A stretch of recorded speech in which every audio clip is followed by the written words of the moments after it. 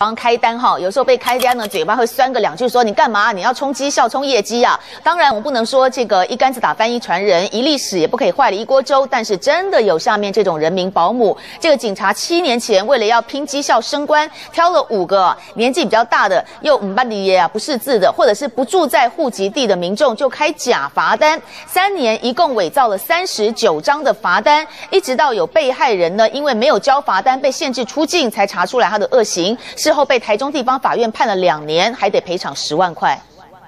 远警为了拼绩效升官，竟然伪造罚单。一名王姓远警在雾峰派出所任职时，挑选了五名曾被他取缔交通违规的民众，以无照驾驶、没挂车牌和未戴安全帽的罪名开立幽灵罚单，而且专挑年长不识字、弱势民众或者没有居住在户籍地。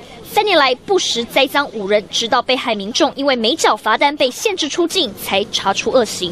因为我做手机，啊骗人老岁人唔捌字啊，啊学白鬼，安尼警察都袂用你啊。无个代志去用罚面啊，当然嘛生气。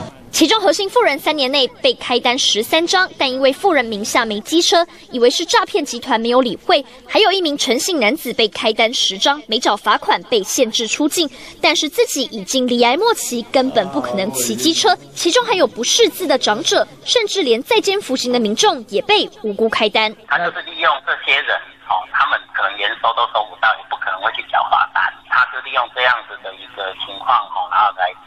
一共开出了三十九张幽灵罚单，领取了一万多元的奖励金，还顺利升官巡佐，直到去年被起诉后依规定停职。除了撤销这三十九张假罚单外，奖励金也全数缴回。